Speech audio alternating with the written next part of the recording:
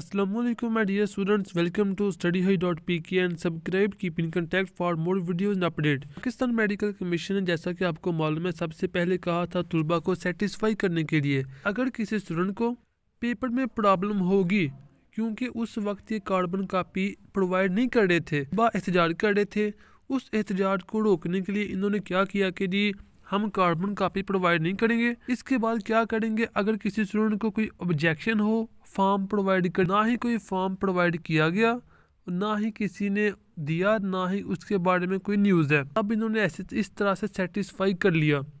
ابھی کیا کر رہے ہیں کہ ڈی چیکنگ نہیں ڈی ٹوٹلنگ میڈیکل کمیشن آپ کا ون لیک ٹوینٹی تھاؤزینڈ میں سے آپ کا پیپر نکال کے اس کو ری چیک کرنے کی زحمت کرے گی؟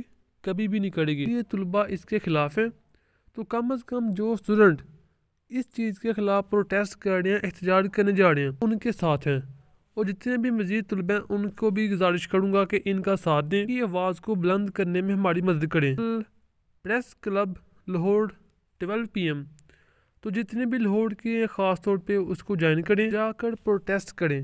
جیسے کہ ایک طلبہ نے مجھے سینڈ کیا اور کافی فیس بک پیجز بھی اس کو سپورٹ کرے ہیں۔ تو سمپل سی بات ہے، آپ بھی اس کو سپورٹ کریں، ہم بھی آپ کے ساتھ ہیں۔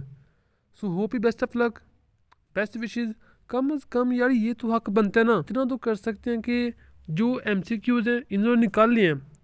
وہ بتائیں گے کون سے نکال لیے ہیں۔ طلباء کو سیٹسفائی کریں۔ اور جو پیپر ہے، وہ سب کے سامنے رکھیں۔ انہوں نے غزٹ بھی دوبارہ سے لگائیں۔ پتہ لگے میکسیمم مارکس کتنے ہیں۔ یہ کیا اے کے ون نائنٹی سیون ہے اے کے ون نائنٹی سکس ہے۔